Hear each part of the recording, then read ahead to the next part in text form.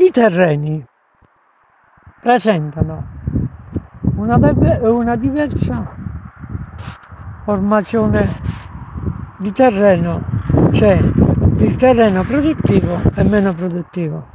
Questo è un tratto, o sarà perché cambia il tipo di terreno, gli alberi da frutto qui tendevano ad essiccarsi.